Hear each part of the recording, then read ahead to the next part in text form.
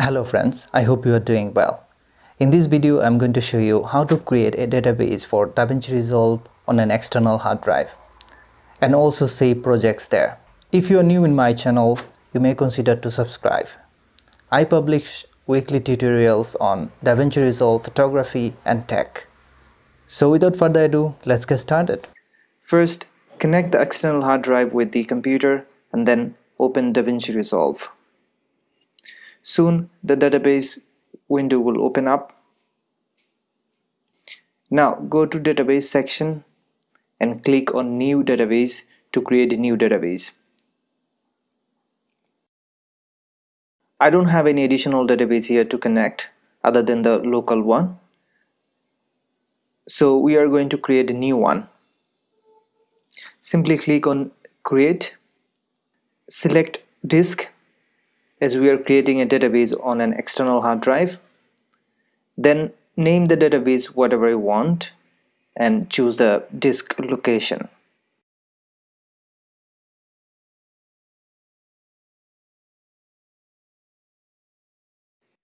Since we need to create a database on an external hard drive, then we'll have to select the location on the external hard drive. Now we'll have to create a new folder in the drive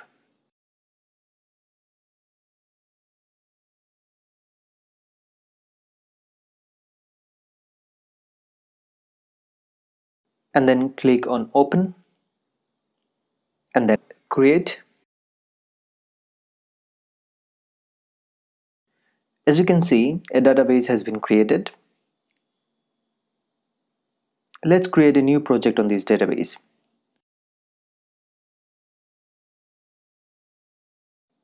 Now I am importing a video footage from the same external hard drive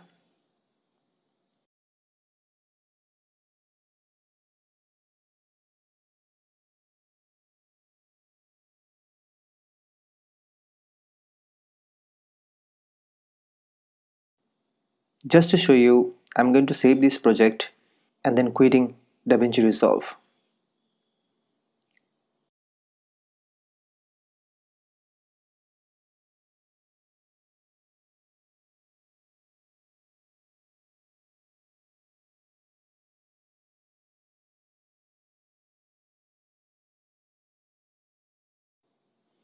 Open Resolve again